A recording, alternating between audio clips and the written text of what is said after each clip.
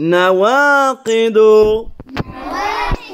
الوضوء les annulatifs des ablutions Les annulatifs des ablutions. donc là nous allons apprendre ce qui lorsque cela se produit nos ablutions nous perdons nos ablutions nous devons les refaire premièrement al khariju min as-sabilayn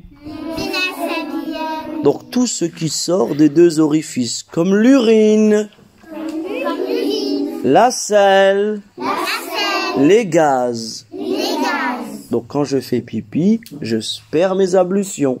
Lorsque je fais caca, je perds mes ablutions. Et lorsque je fais un gaz, je perds mes ablutions. Aussi, un naum. Quand je fais dodo, je perds mes ablutions.